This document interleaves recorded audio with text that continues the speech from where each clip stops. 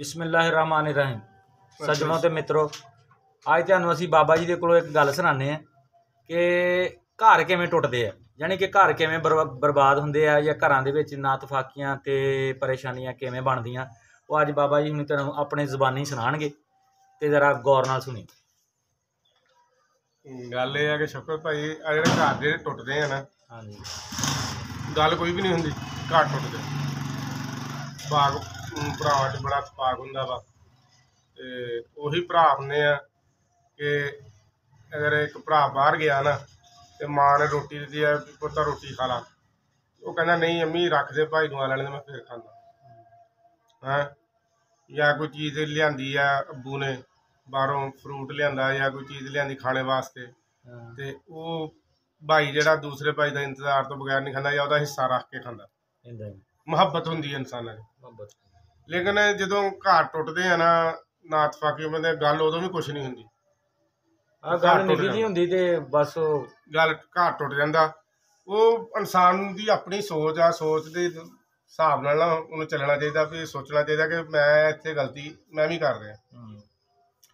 ਤਿੰਨ ਭਾਈ ਸੀ ਉਹਨਾਂ ਦਾ ਬਹੁਤ ਹੀ ਇਤਫਾਕ। ਅੱਛਾ। ਚਾਰ ਭਾਈ ਸੀ ਤਕਰੀਬਨ।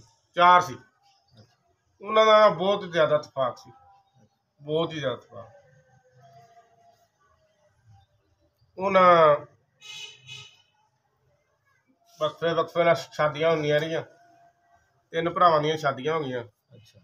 ਤੇ ਜੇ ਇੱਕ ਭਰਾ ਦੀ ਬੀਵੀ ਨੇ ਕੋਈ ਗੱਲ ਕਰਨੀ ਨਾ ਤੇ ਦੂਸਰਿਆਂ ਨੇ ਕੀ ਕਰਨਾ ਤਿੰਨਾਂ ਨੇ ਫੜ ਕੇ ਉਹਨੂੰ ਚਾਰਾਂ ਨੇ ਕੁੱਟ ਦੇਣਾ। ਵੀ ਸਾਡੇ ਸਾਡੇ ਭਰਾਵਾਂ ਦੀ ਦਰਾੜ ਨਾ ਪਵੇ।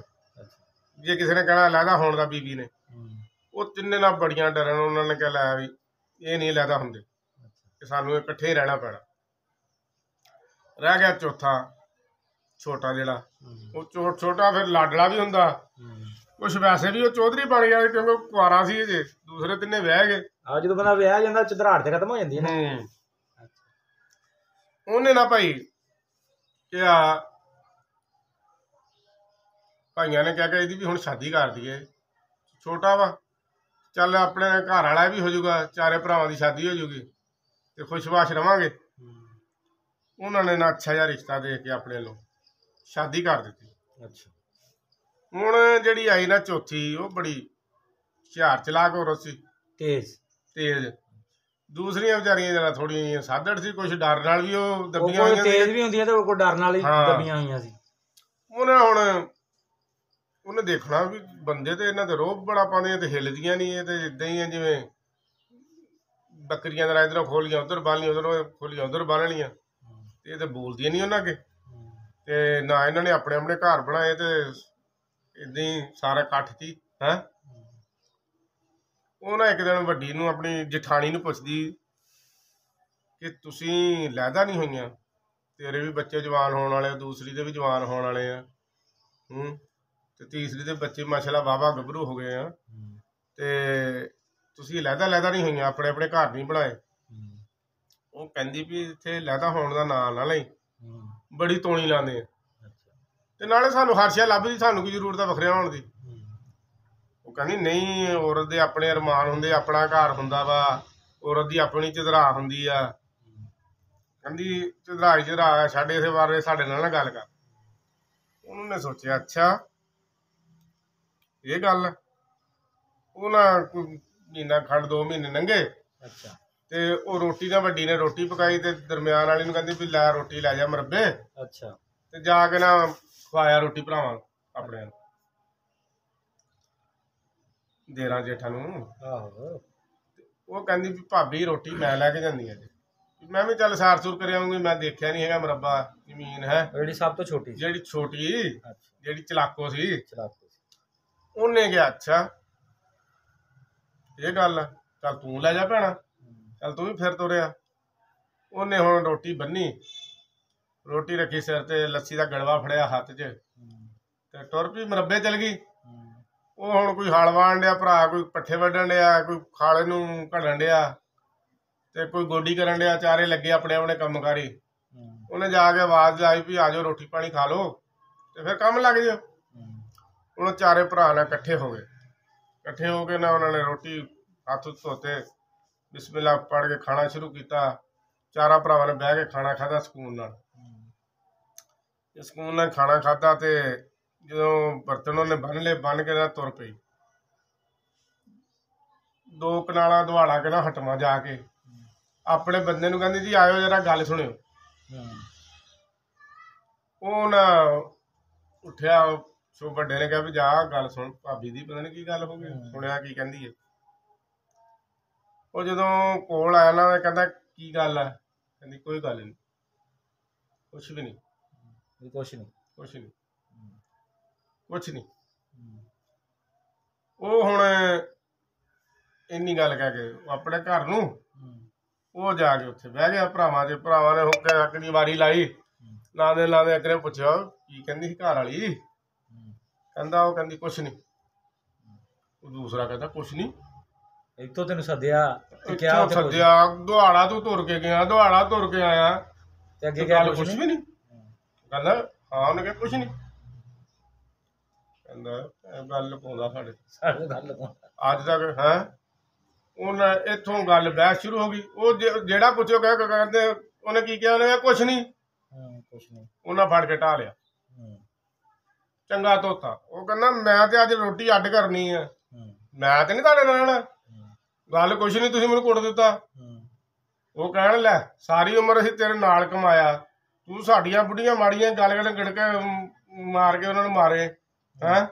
ਅੱਜ ਤੇਰੀ ਤੇ ਗੱਲ ਆਈ ਤੂੰ ਕਹਿੰਦਾ ਕੁਛ ਨਹੀਂ ਉਹ ਭਾਈ ਰੋਲਾ ਬਣ ਗਿਆ ਇੱਥੋਂ। ਘਰ ਗਏ ਉਹਨੇ ਜਾਣੇ ਆਪਣਾ ਚੁੱਲ੍ਹਾ ਲੈਦਾ। ਘਰ ਦੀ ਨੂੰ ਕਹਿੰਦਾ ਰੋਟੀ ਲੈਦਾ ਪਕਾਣੀ ਮੈਂ ਨਾ ਰੋਟੀ ਨਹੀਂ ਖਾਣੀ ਹੈਗੀ। ਉਹ ਦੂਜੀ ਹਰ ਤੀਸਰੀਆਂ ਦੋਵਾਂ ਤਿੰਨਾਂ ਨੇ ਦੂਸਰੀਆਂ ਨੇ ਵੀ ਦੇਖਿਆ। ਉਹ ਚੁੱਪ ਕਰ ਗਈਆਂ ਉਹਨਾਂ ਰਾਤ ਨੂੰ ਆਪਣੇ ਆਪਣੇ ਵੱਡੀ ਕਹਿੰਦੀ ਕਿ ਸਾਰੀ ਉਮਰ ਅਸੀਂ ਤਾਂ ਇੱਥੇ ਮਰ ਗਏ ਕੰਮ ਕਰ ਕਰਕੇ ਸਾਡੀਆਂ ਤੇ ਹੱਡੀਆਂ ਖੁਰ ਗਈਆਂ। ਬੱਚੇ ਸਾਡੇ ਜਵਾਨ ਹੋਣ ਵਾਲੇ ਬਣਾਇਆ ਤੂੰ ਕੁਛ ਨਹੀਂ ਹੈਗਾ। ਹੈ? ਅਗਲੀ ਕੱਲ ਆਈ ਆ ਦੇਖ ਲਾ ਅਗਲੇ ਵੱਖਰੀ ਹੋ ਗਈ ਨਾ। ਉਹਨੂੰ ਪਤਾ ਵੀ ਕੱਲ ਨੂੰ ਬੱਚੇ ਹੋਣੇ ਆ ਤੇ ਉਹਨਾਂ ਦਾ ਸਮਾਨ ਸਮੂਨ ਉਹਨਾਂ ਨੂੰ ਸਰਸ਼ਾ ਬਣਾਣੀ ਹੂੰ, ਉਹ ਅਗਲੀ ਸਿਆਣੇ ਆ। ਸਾਰ ਤੁਹਾਨੂੰ ਸਾਰੀ ਉਮਰ ਉਹਨੇ ਬੁੱਧੂ ਬਣਾਈ ਰੱਖਿਆ। ਮੈਂ ਵੀ ਨਹੀਂ ਰੋਟੀ ਨਾਲ ਪਕਾਣੀ ਉਹਨੇ ਕਿਹਾ ਠੀਕ ਆ। ਹੂੰ, ਆਪਾਂ ਨੂੰ ਸਵੇਰ ਰੋਲਾ ਪਾ ਦਿੰਦੇ ਸਵੇਰ ਰੋਲਾ ਪੈ ਗਿਆ ਭਾਜੀ ਉਹ ਵੀ ਵੱਖਰਾ। ਜਦੋਂ ਵੱਡਾ ਵੱਖਰਾ ਹੋਇਆ ਦੂਜਿਆਂ ਦੋਵਾਂ ਨੇ ਵੀ ਕਿਹਾ ਵੀ ਅਸੀਂ ਵੀ ਨਹੀਂ ਇਕੱਲੇ ਇਕੱਠੀਆਂ ਖਾਣੀਆਂ ਅਸੀਂ ਵੀ ਲੈਦਾ ਲੈਦਾ ਉਹ ਵੀ ਵੱਖਰੇ। ਉਹ ਭਾਜੀ ਸਾਰੇ ਵੱਖਰੇ ਹੋ ਗਏ। ਹੁਣ ਸਾਰਿਆਂ ਦੀ ਆਪਣੀ ਆਪਣੀ ਰੋਟੀ ਆਪਣੇ ਆਪਣੇ ਮੂੰਹ ਕੱਲੇ ਕੱਲੇ ਕੰਮ ਤੇ ਜਾਣਦੇ ਹੁਣ ਪਿੰਡ ਵਾਲਿਆਂ ਨੇ ਦੇਖਿਆ ਯਾਰ ਇਸ ਘਰ ਦਾ ਤੇ ਤਫਾਕ ਹੀ ਬੜਾ ਸੀ। ਇਹ ਚ ਭਰਾਵਾਂ ਦੇ ਵਿੱਚੋਂ ਪਾਣੀ ਨਹੀਂ ਸੀ ਲੰਘਦਾ। ਇੰਨਾ ਮਸਾਂ ਕਿ ਜੁੜ ਕੇ ਰਹਿੰਦੇ ਸੀ। ਤੇ ਅੱਜ ਕੱਲੇ ਕੱਲੇ ਤੁਰ ਪਏ ਕੱਲੇ ਕੱਲੇ ਦਾੰਦਾ ਲੈ ਕੇ ਆਪਣੇ ਢੱਗੇ। ਆਪਣੀ ਆਪਣੀ ਵਾਹੀ ਬਾਹ ਵਾਹਣ ਚਲ ਗਏ। ਇਹ ਕੀ ਰੋਲਾ? ਉਹ ਸਿਆਣੇ ਪਿੰਡ ਦੇ ਵਾਲੇ ਕੁਛ ਇਕੱਠੇ ਹੋਏ। ਇਕੱਠੇ ਹੋਏ ਤੇ ਉਹਨਾਂ ਨੇ ਨਾ ਪਰਿਓ ਕੀਤੀ ਤੇ ਉਹਨਾਂ ਨੇ ਨਾ ਸ਼ਾਮ ਨੂੰ ਸਾਰਿਆਂ ਨੇ ਕਿਹਾ ਯਾਰ ਇਹਨਾਂ ਦੇ ਘਰ ਜਾਈਏ ਇਹਨਾਂ ਦੀ ਗੱਲ ਪੁੱਛੀਏ ਕੀ ਗੱਲ। ਉਹ ਚਾਰਾਂ ਭਰਾਵਾਂ ਨੂੰ ਸੱਦ ਲਿਆ ਉੱਥੇ ਪਰਿਓ ਦੇ ਜਿਹੜਾ ਮੈਂ ਲੰਬੜਦਾਰ ਸੀ। ਪਿੰਡ ਦੇ ਬੰਦੇ ਕਿਉਂਕਿ ਪਹਿਲੇ ਜਿਹੜੇ ਲੋਕ ਹੁੰਦੇ ਸੀ ਨਾ, ਉਹਨਾਂ ਦੀ ਮੁਹੱਬਤਾਂ ਹੁੰਦੀਆਂ ਸੀ। ਉਹ ਜੇ ਅਗਰ ਕੋਈ ਮਸਲਾ, ਕੋਈ ਬ- ਬੱਚਾ ਜਾਂ ਕੋਈ ਸਿਆਣਾ ਗਲਤੀ ਕਰਦਾ ਨਾ, ਉਹ ਸਾਰੇ ਰਲ ਮਿਲ ਕੇ ਉਹਨੂੰ ਸਮਝਾਉਂਦੇ ਹੁੰਦੇ ਸੀ ਕਿ ਯਾਰ ਤੂੰ ਇੱਥੇ ਗਲਤ ਹੈ, ਇਹਨੂੰ ਸਹੀ ਕਰ। ਹੁਣ ਉੱਥੇ ਸਿਆਣਿਆਂ ਨੇ ਪੁੱਛਿਆ ਵੀ ਗੱਲ ਕੀ ਆ? ਉਹਨੇ ਕਿਹਾ, ਗੱਲ ਕੀ ਆ ਕਿ ਮੈਂ ਇਹ ਅਸੀਂ ਵੱਡੇ ਨੂੰ ਪਹਿਲੇ ਕਿਹਾ ਵੀ, ਹਾਂ ਵੀ ਤੂੰ ਗੱਲ ਸੁਣ। ਉਹਨੇ ਇਹ ਗੱਲ ਕੋਈ ਵੀ ਨਹੀਂ। ਇਹ ਇਹਦੀ ਘਰ ਦੀ ਰੋਟੀ ਲੈ ਕੇ ਆਈ ਆ। ਅਸੀਂ ਅੱਗੇ ਜਿਹੜੀ ਗੱਲ ਹੁੰਦੀ ਸਾਡੀਆਂ ਬੁੱਢੀਆਂ ਕਰਦੀਆਂ, ਅਸੀਂ ਇਹਨੂੰ ਪਹਿਲੇ ਦੱਸਿਆ ਕਿ ਫਲਾਣੀ ਨੇ ਆ ਗੱਲ ਕੀਤੀ। ਹਾਂ? ਤੇ ਇਹ ਇਹਦੀ ਘਰ ਦੀ ਰੋਟੀ ਲੈ ਕੇ ਆਈ ਆ। ਅਸੀਂ ਰੋਟੀ ਖਾ ਖਾਧੀ ਆ, ਉਹ ਦੁਹਾੜਾ ਘਰ ਟੁੱਟ ਕੇ ਗਈ ਆ। ਉਹਦੇ ਕੋਈ ਦਿਲ 'ਚ ਗੱਲ, ਕੋਈ ਖਿਆਲ ਆਇਆ, ਕੋਈ ਗੱਲ ਕੋਈ ਆਈ ਹੋਊਗੀ ਉਹਨੂੰ ਪੁੱਛਣ ਵਾਸਤੇ। ਉਹਨੇ ਕਿਹਾ ਜੀ, ਮੇਰੀ ਗੱਲ ਸੁਣਿਓ। ਇਹ ਗਿਆ, ਇਹਨੇ ਗੱਲ ਸੁਣ ਕੇ ਆ ਕੇ ਅਸੀਂ ਇਹਨੂੰ ਪੁੱਛਿਆ ਵੀ ਭਰਜਾਈ ਕੀ ਗੱਲ ਕਹਿੰਦੀ ਆ? ਇਹ ਕਹਿੰਦਾ ਉਹਨੇ ਕੁਝ ਨਹੀਂ ਕਿਹਾ। ਹੂੰ, ਹੈ? ਇਹ ਕਹਿੰਦਾ ਵੀ ਉਹਨੇ ਕੁਝ ਨਹੀਂ ਕਿਹਾ ਵੀ ਉਹ ਦੁਹਾੜਾ ਗਿਆ ਤੁਰ ਕੇ ਤੁਰ ਕੇ ਆਇਆ ਉਹਨੇ ਸੱਦਿਆ। ਹੂੰ, ਹੈ? ਕੋਈ ਨਾ ਕੋਈ ਤਾਂ ਗੱਲ ਕੀਤੀ ਆ। ਇਹ ਕਹਿੰਦਾ ਕੁਝ ਨਹੀਂ ਕੀਤੀ। ਜਦੋਂ ਇਹ ਸਾਡੇ ਤੋਂ ਉਹਦਾ ਹੁਣ ਹੀ ਓਲਾ ਰੱਖਣ ਲੱਗ ਗਿਆ ਤੇ ਕੱਲ ਨੂੰ ਸਾਡੇ ਨਾਲ ਕਿੱਥੇ ਟੁਰੂਗਾ? ਇਸ ਗੱਲ ਤੋਂ ਅਸੀਂ ਇਹਨੂੰ ਕੁੱਟਿਆ ਤਿੰਨਾਂ ਭਰਾਵਾਂ ਨੇ। ਇਹਨੇ ਆਪਣੀ ਰੋਟੀ ਅੱਡ ਕਰ ਲਈ। ਮੁੜ ਕੇ ਭਾਈ ਜਦੋਂ ਇਹਨੇ ਰੋਟੀ ਅੱਡ ਕਰ ਲਈ ਮੇਰੇ ਵਾਲੀ ਕਹਿੰਦੇ ਵੀ ਜੇ ਉਹ ਕੱਲ ਆ ਕੇ ਰੋਟੀ ਲੈਦਾ ਪਕਾਉਂਦੀ ਆ ਉਹਨੂੰ ਵੀ ਬੋਲਣੇ ਦਾ ਮੌਕਾ ਮਿਲ ਗਿਆ। ਉਹਨੇ ਕਿਹਾ ਮੈਂ ਵੀ ਨਹੀਂ ਜਾਂਦੀ ਮੈਂ ਚੱਲੀ ਆਪਣੇ ਪੇਕਿਆਂ ਦੇ ਆਪਣੇ ਬੱਚੇ ਸਾਹਮਣੇ ਮੈਂ ਵੀ ਸੁਆ ਫਿਰ ਰੋਟੀ ਪਕਾ ਉਹ ਕਹਿੰਦੇ ਅਸੀਂ ਵੀ ਹੀ। ਉਹਨੇ ਕਿਹਾ ਗੱਲ ਕੀ ਹੋਈ? ਉਹਨੇ ਕਿਹਾ ਇਹੀ ਗੱਲ ਇਹ ਕਹਿੰਦਾ ਗੱਲ ਕੁਛ ਨਹੀਂ। ਉਹਨੂੰ ਪੁੱਛਿਆ ਵੀ ਹਾਂ ਵੀ ਗੱਲ ਕੀ ਆ? ਉਹਨੇ ਕਿਹਾ ਮੈਂ ਇਹਨਾਂ ਨੂੰ ਉਹੀ ਗੱਲ ਦੱਸੀ ਜਿਹੜੀ ਗੱਲ ਹੋਈ। ਕਹਿੰਦਾ ਕੀ ਗੱਲ ਹੋਈ? ਕਹਿੰਦਾ ਵੀ ਮੇਰੀ ਬੇਗਮ ਨੇ ਮੈਨੂੰ ਸੱਦਿਆ। ਵੀ ਗੱਲ ਸੁਣਿਓ। ਮੈਂ ਗਿਆ। ਉਹਨਾਂ ਨੇ ਪੁੱਛਿਆ ਵੀ, ਮੈਂ ਉਹਨੂੰ ਪੁੱਛਿਆ ਵੀ ਕੀ ਗੱਲ ਆ? ਉਹ ਕਹਿੰਦੀ ਕੁਛ ਨਹੀਂ ਤੇ ਮੈਨੂੰ ਇਹਨਾਂ ਨੇ ਆ ਕੇ ਪੁੱਛਿਆ ਵੀ ਕੀ ਗੱਲ ਆ? ਉਹ ਤੇਰੀ ਬੇਗਮ ਨੇ ਕੀ ਗੱਲ ਕਿਹਾ? ਮੈਂ ਕਿਹਾ ਵੀ ਉਹਨੇ ਕਿਹਾ ਕੁਛ ਨਹੀਂ ਉਹ ਸਾਰੀ ਪਰੇ ਉਹ ਸੋਚਣ ਲੱਗ ਗਈ, ਗੱਲ ਕੁਛ ਨਹੀਂ ਤਾਂ ਫਿਰ ਵੱਖਰੇ ਕਾਹਤੋਂ ਹੋਏ? ਹੂੰ? ਹੈ ਗੱਲ ਤੇ ਕੁਛ ਵੀ ਨਹੀਂ ਉਹ ਕੁਛ ਨਹੀਂ ਜਿਹੜੀ ਆ, ਹਜੇ ਤੱਕ ਨਹੀਂ ਪਤਾ ਵੀ ਉਹ ਕੁਛ ਨਹੀਂ ਕੀ ਹੈ ਹੈ? ਹਾਂ ਵੀ ਗ- ਯਾਨੀ ਕਿ ਗੱਲ ਕੁਛ ਨਹੀਂ ਸੀ ਹਾਂ। ਤੇ ਕੰਮ ਹੋ ਗਿਆ। ਤੇ ਕੰਮ ਸਾਰੇ ਹੋ ਗਏ ਘਾਟ ਟੁੱਟ ਗਿਆ।